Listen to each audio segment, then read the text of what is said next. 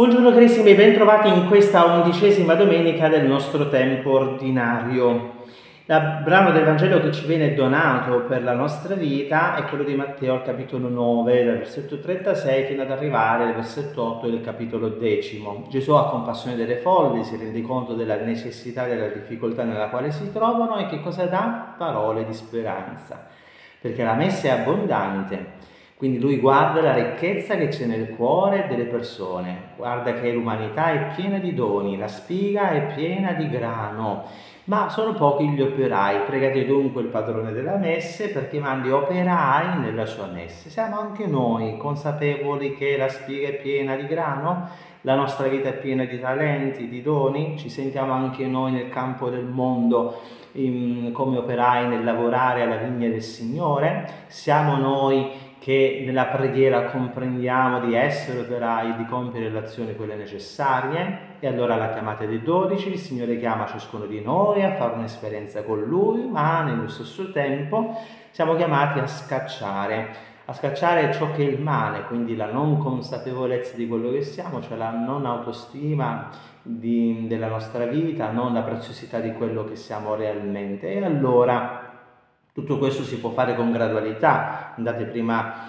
da coloro, dalle pecore perdute della casa di Israele, prima di andare dai pagani e dai samaritani. Ci sarà il momento nel quale vi invierò, dopo che voi avete fatto un'esperienza vera, profonda, di quello che significa gratuitamente ricevere, gratuitamente dare. Quindi la vita è un dono che noi abbiamo ricevuto e la gioia sta nel dare più che nel ricevere. Allora ecco che il libro dell'Esodo dice al popolo di Israele, voi siete la nazione santa, voi siete un regno di sacerdoti. libro della lettera ai Romani lo dice ancora molto chiara, che nel momento in cui l'uomo era ancora immerso nel peccato, eh, mm, ma Dio dimostra il suo amore verso di noi nel fatto che mentre eravamo ancora peccatori, Cristo è morto per noi.